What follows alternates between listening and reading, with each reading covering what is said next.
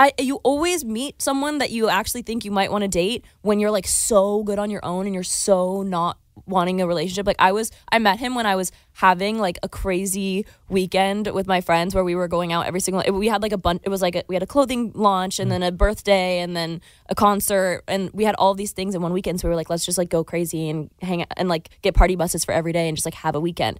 And so I was in the middle of this crazy weekend and I met this guy and then we started hanging out and he I was like, "Oh my god, like what? I like this kid is so cool. He we went on a date. He lives like so we went to Sunset Tower. He lives like right over there, like in in mm. West Hollywood.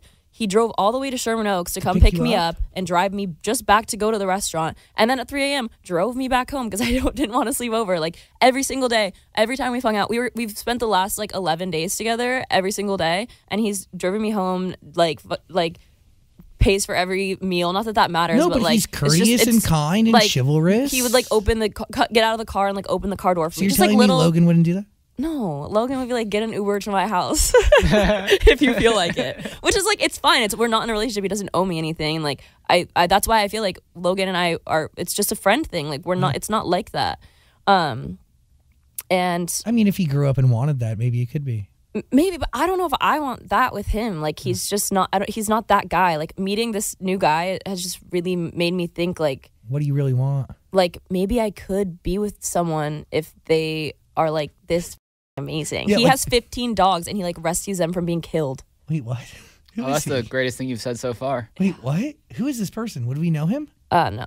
And he You is like normal and he is in like finance. Oh, we love this. yeah. He's great. And you hung out with him for 11 days straight. And you're not sick of him. That's incredible. Oh, you're in.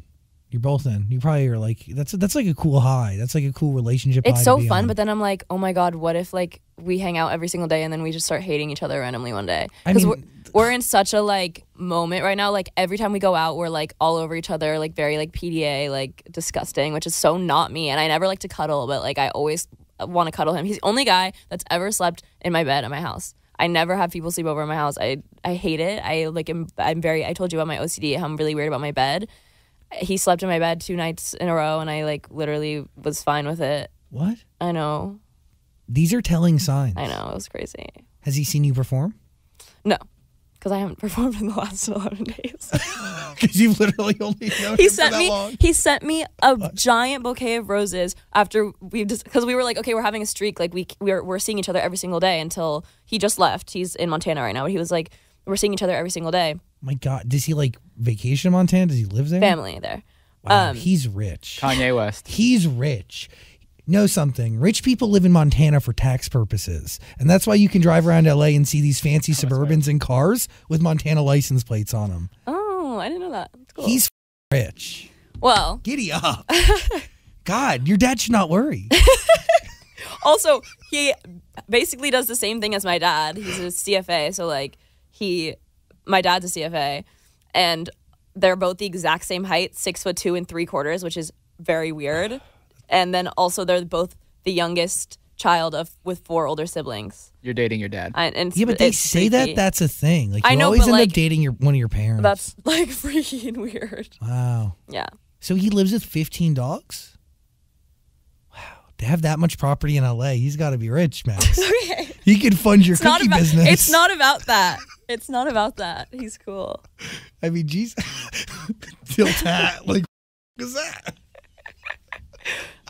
Yeah. No, but he sent me he sent me a giant bouquet of, of roses for our jokingly one week anniversary, and uh, the card was like, Olivia, like I feel like I've known you for or no, it, it's so crazy. It feels like it's only been a week. Happy anniversary. That's really was really funny. cute. yeah. I like this for you. Mm-hmm. Congratulations. Thanks. Have you been writing songs about it? Or, or are you just too consumed with his company that you have no time to write? I wrote a song about kind of the situation of like realizing that you deserve better? Like you're deserving someone like that? I don't know. It's it's kind of it's kind of about him and kind of just about like i don't know. Just like the the realization of maybe maybe i don't want just like a stupid situationship even though it's fun and i've always enjoyed it in the past and like it's no drama maybe i could want someone that like treats me nice. All my friends are like so shocked. They're like, Olivia, you deserve this. Like you've never had anything like this before. Because normally when guys are super nice to me, I don't like them, but I actually like him, which is like just That's how you know. yeah. Would you say like, he's the opposite of Logan? it's not the opposite of Logan? They're both really smart and funny and cool, but he's just like a gentleman. Like it's I've never I've I don't I've never experienced anything like this in my life. So Happy for you. thanks. You deserve good things. Watch next time I come in. I'm like, he was an asshole. I have a whole album.